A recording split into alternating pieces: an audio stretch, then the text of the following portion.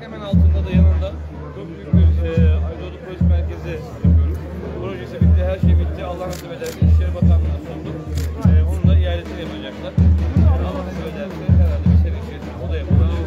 Yani mahalle daha güvenli, daha huzurlu, çocukların daha keyifli vakit geçirebileceği bir hale dönüştürmeye çalışıyoruz. Dolayısıyla bugüne kadar yapılmış herhangi bir sözü görmemiştik Sayın Şimdi e, onunla da bitmeyecek. Muhtemelen bir proje daha hazırlıyoruz. Burada da Burada